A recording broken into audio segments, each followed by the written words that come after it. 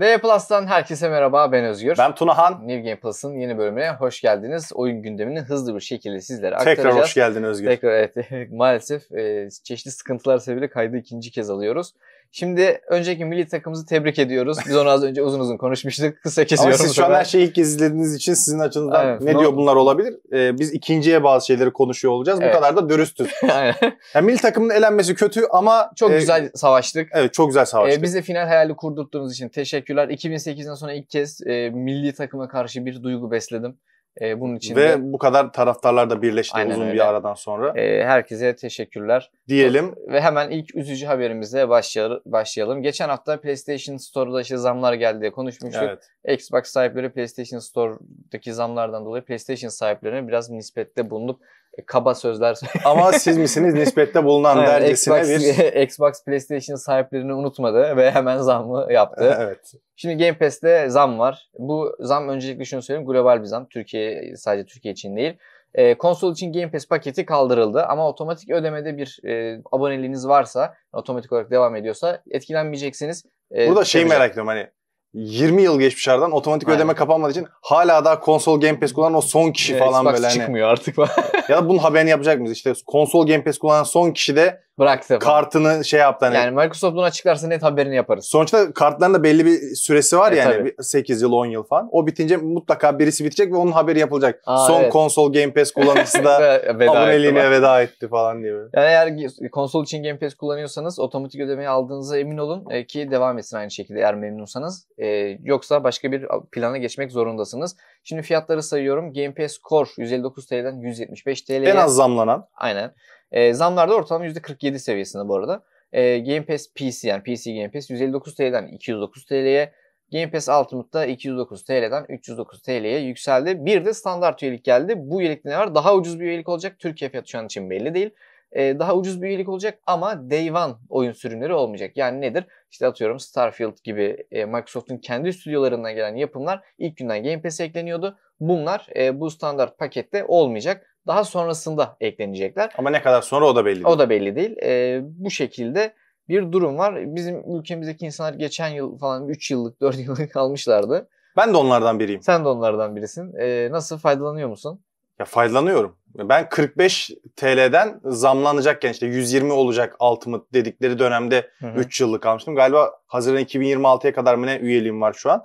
Ya kullanıyorum ama çok da yoğun kullandığımı söyleyemem. Çünkü en başta merak ettiğim oyunları bir kere eritince Tabii. sonrasında hani acaba benim seveceğim bir oyun gelecek mi? Aynen. Bir bakayım falan çok dediğim bir sıkı şey oldu. takip ediliyorsa oyun dünyasında ben oyun kaçırmıyorum bakıyorum deniyorsa Hı. Game Pass biraz daha böyle yani her ay almaktan ziyade güzel bir oyun gelince al- almak daha mantıklı oluyor ama yok ben hani çok oyun oynamadım biriken bir kütüphane istiyorum diyorsanız da Game Pass mantıklı. O, orada çok mantıklı. Ee, aslında bu zamın sebebi de hani global ölçekte bir zam olduğunu söyledik. İki sebebi var. Birincisi e, bu Activision Blizzard oyunları biliyorsunuz e, platforma eklenecek. Yılın sonunda mesela Call of Duty'nin yeni oyunu eklenecek Black Ops 6.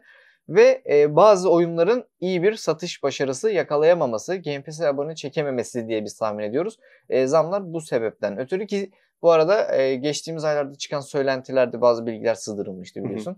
O zaman zaten Game Pass'e zam geleceği söylenmişti. Şimdi bir sonraki habere hemen bağlayayım buradan. Ki tam bağlanabilecek bir Aynen. haber. Ee, geç, bu yılın herhalde en hype'lanan, gazlanan e, Xbox oyunu olan Hellblade 2'nin satışları çakılmış durumda. Şaşırdık Ee, mı? e, şaşırmadık. Çünkü sen az önceki çekimde oyun olmadığını da iddia etmiştin. Ya sen en büyük oyunu falan değil oyun mu demiştim ben. evet. Ee, İşte Aynı şeyleri de- biraz biraz canlandırmaya çalışıyoruz şu an burada. Gerçekten de öyle. Şimdi şöyle Mayıs ayındaki listede oyun Mayıs ayında çıktı. 37. sırada.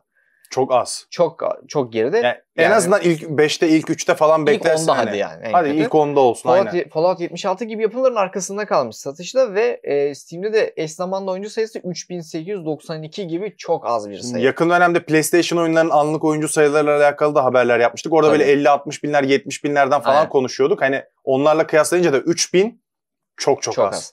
E, tabii burada şeyi bilmiyoruz. Game Pass'e ne kadar abone kattı? Hı. E, şey ne Helldivers diyecektim. Bak, Hellblade neydi? 2. Hellblade 2 ne kadar abone kattı? Bu önemli. Çünkü Xbox'ın baktığı şey de. Steam'deki oyun satışına çok bakmıyordur. İlla ki bakıyordur. Çok kötü bir sayı, çok kötü bir istatistik ama atıyorum Game Pass'e de 1 milyon üye kazandırdıysa ya, o zaman çok iyi yani. Bakmaz öyle olsaydı Steam'e. zaten Evet, evet. o zaman şey diyebilirsin. Yani niye satışları az onu anlayabiliyorum ama bu sefer anlık oyuncu sayısından patlıyorsun. Yani 1 milyon kişi aldı da 300 Ama İşte o üç bin Steam'den kişi mi oynamıyorsun. Game. Pass istatistiği oraya gelmiyor ya. Ya bütün istatistikleri toplamak lazım Evet orada da. yani ama ben yani bu şey zaten hani mesela Starfield'da e, baktığında ne kadar Game Pass abonesi kattı bilmiyoruz ama Steam'deki anlık oyuncu sayısına bakınca çıkış döneminde şeyi görüyordum. Bir de satışlarda ilk ona giriyordu yani Starfield. Şeyi görüyordum. Tam başarılı olmuş en azından çıkış döneminde, çıkış haftasında. Tam oyun sevilmemiş olabilir ama satış anlamında ilk hafta insanlar ha lan bu biz bu oyunu bekliyorduk e, diyene kadar güzel başarı Ha. yakalamıştır. E, yani Hellblade onu da yapamamış belli ki. Ya şöyle bir şey var orada bir de hani oyun kısa sürdüğü için incelemeleri hemen içerikler de çok hızlı bir şekilde E, yayıldı. Herkes izledi gördü ki aa o kadar da bir şey yokmuş falan o zaman oynamayayım Aynen. demek de çok etkili olmuştur bence. Yani izleyebileceğiniz yegane oyunlardan birisi yani bir de oynamak bu yerine. program falan. Aynen öyle. Biliyorsunuz e, dünyanın en çok izlenen oyun e, videosu olarak tarihe geçtik. Alt yazılarda işte koz yatağında çekilenler Tabii ki.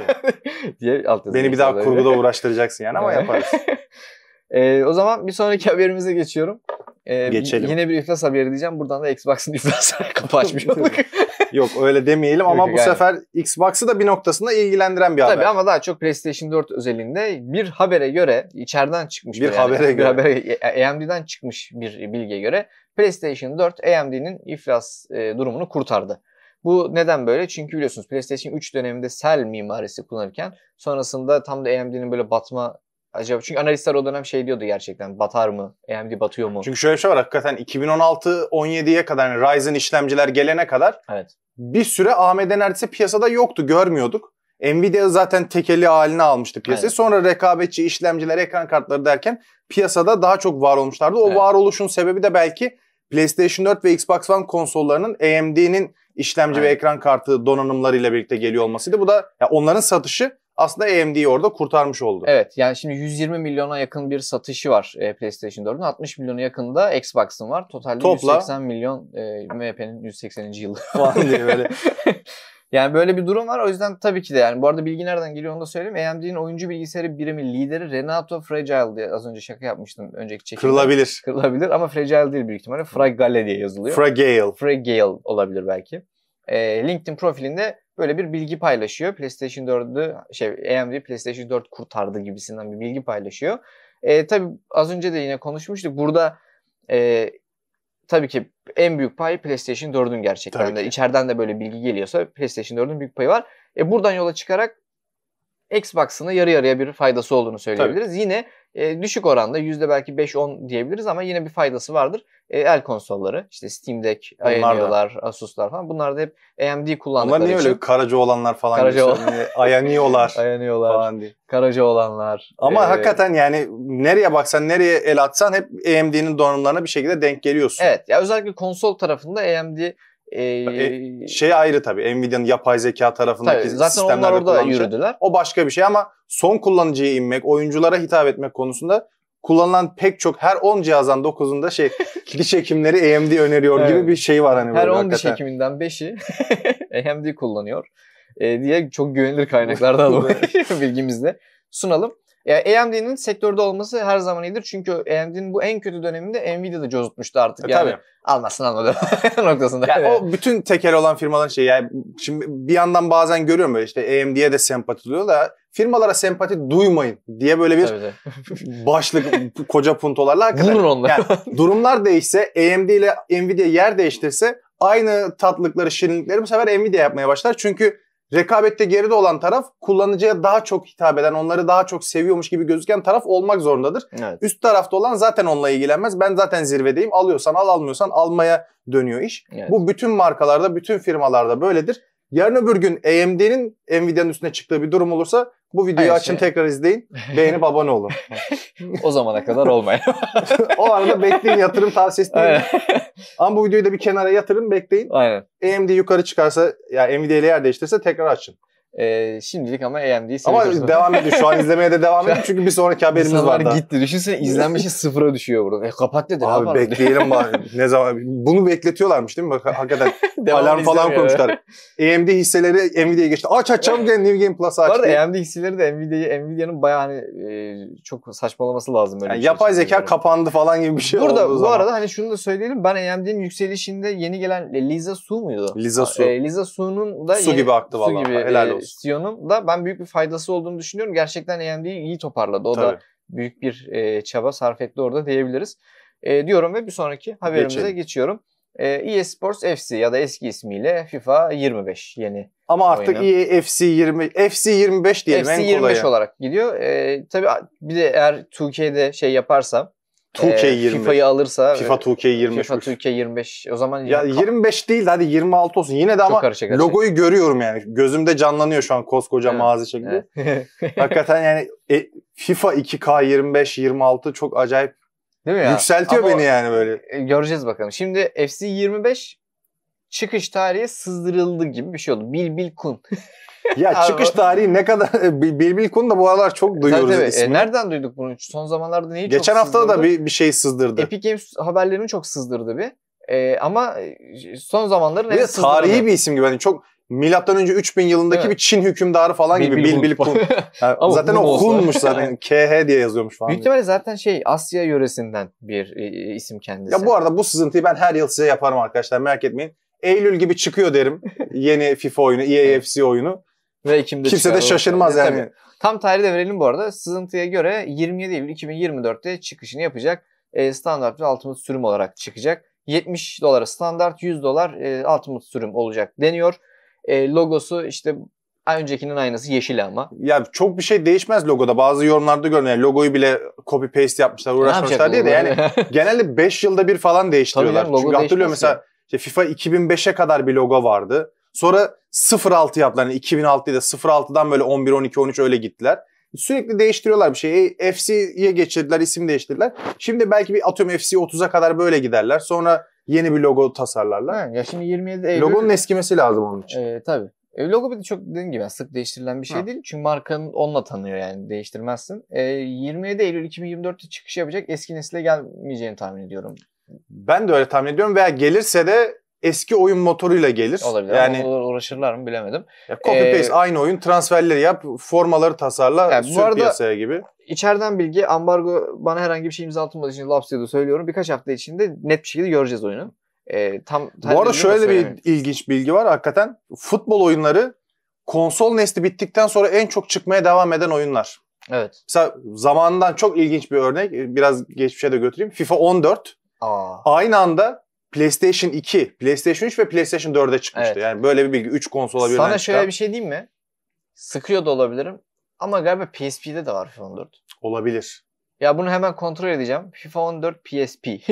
Çünkü ben geçenlerde emülatör kurdum ve sanki orada e, şey oynadım diye hatırlıyorum. E, FIFA 12 de olabilir. Çünkü geçmiş gerçi. konsollarda da hala da işte konsolun belli bir satış adedi var ya demin konuştuk işte Aha. 180 milyonlar 60 milyonlar Evet, karaca olanlar diye. Karaca olan. Yani, yani o kadar büyük potansiyel bir kitle var orada. Ha, tabii ki de o insanlar yeni konsollara da geçiyorlar ama o kitleyi de bırakmamak için eski oyun motorunda yine eski nesil bir oyunu sadece kadro güncellemeleri ve forma güncellemeleriyle tekrar iteliyorlar diyebiliriz en Yani kaba tabiriyle. Sayayım hepsini ben size. PSP, Android, PlayStation 2, PlayStation 4, PlayStation 3, Xbox 360, PC, Windows olan, PlayStation Vita, Wii, Xbox One, iOS, Nintendo Dünyada bu 3DS, kadar çok platforma çıkan başka oyun yoktur bu büyük ihtimalle yani. Nintendo 3DS ve Java Mi. Bu ne acaba? Abi Bizim eve bile çıkmış olabilir yani Aynen. FIFA 14. Yani öyle bir Şey, bir şey ara vardı. e, Doom'u işte buzdolabında oynamışlar Ha. falan. diye. Aynısı durmuş yani buzdolabında bile çalışan FIFA diye. Bayağı çıkmış gerçekten de. E, bekliyoruz bakalım her sene bir bekliyoruz yani. Oynuyoruz sonra Allah kahretsin diyoruz. Ha, yani Ama ben mesela son FIFA'yı sevdim. Düşünüyorum, If- FC 24'ü FC 24'ü sevdim. evet. Evet. Ben de sevdim. Oynanış olarak oturaklıydı. Ya zaten öyle oluyor. Yani aynı oyun olsa bile hani şey gibi aynı yemeği sürekli yaparsın ama her gün aynı güzellikte olmaz.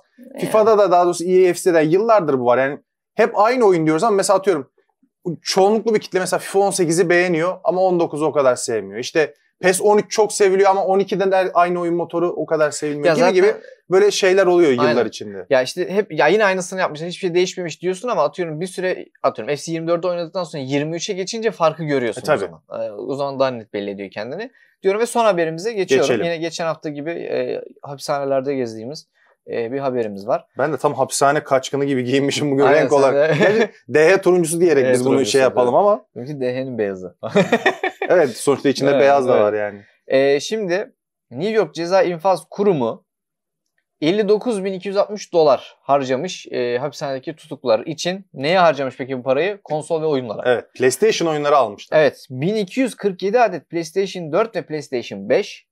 bu şey gibi oldu ve çok sayıda mühimmat Ve bilmem ne hani, şey, hani Artı yakalanan şeyleri böyle Aynen. açıklar gibi hani Şey dizmişler. 4 kilo bilmem ne işte şu bu hani videoya şey girmesin diye isimlerini de söyleyemiyorum ama Ya bir ton oyun var. Ee, 1247 adet PlayStation 4 ve PlayStation 5 satın alınmış.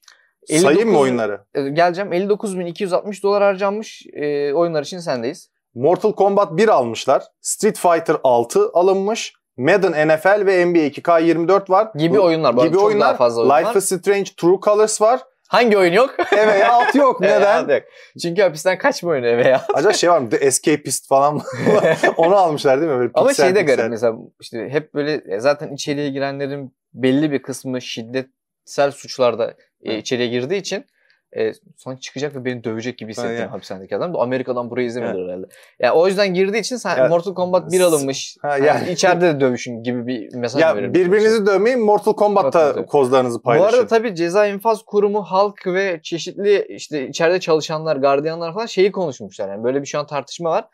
Ya bu para daha iyi harcanabilir miydi? 60 bin dolar para harcanmış.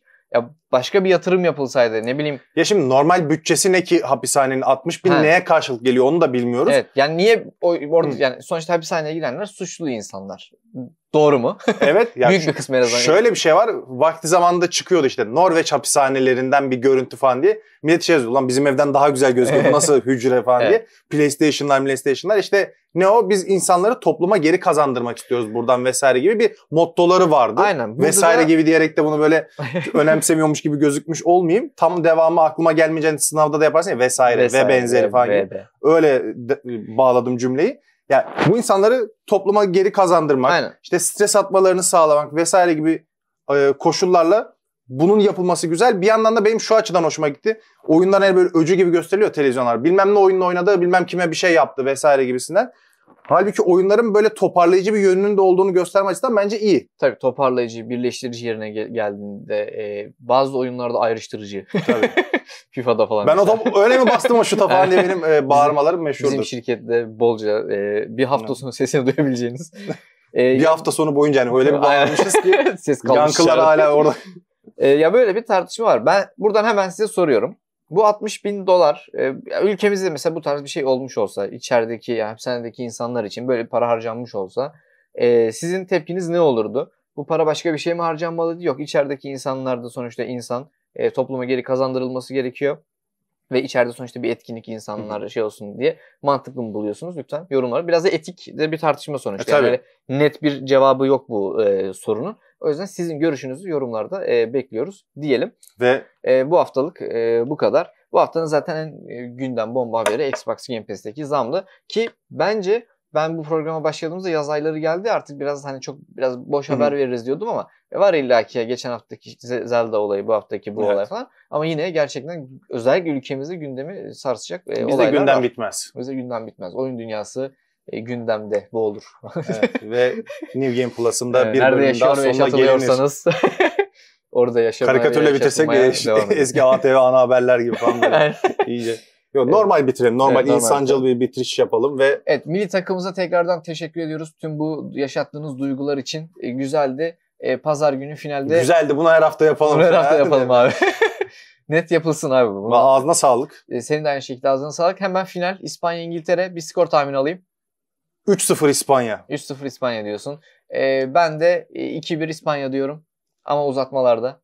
Ben absürt 120'de bir tahmin yaptım bu arada. Onu da söyleyeyim. Yani gerçekçi beklenti bu değil ama artık birinin İngiltere'nin bu iğrenç futbolunu dağıtmasını istiyorum. Ya bu Futbolun arada beşiği bir sallansın lütfen. ya bu arada İspanya çok güzel top oynuyor. Ama İngiltere'yi de hani severim, tutarım e, Premier Lig'den Ya ötürü. ben de severim. O ayrı. E, o yüzden hani İngiltere'de hiç kupa alamadılar ya. Bir kupa alsalar mı acaba? Ha. Bir sussalar da artık. gibi bir düşüncem de var. E, 2-1, 3-0 sizlerin de tahminini bekliyoruz. Önümüzdeki hafta görüşmek üzere. Hoşçakalın.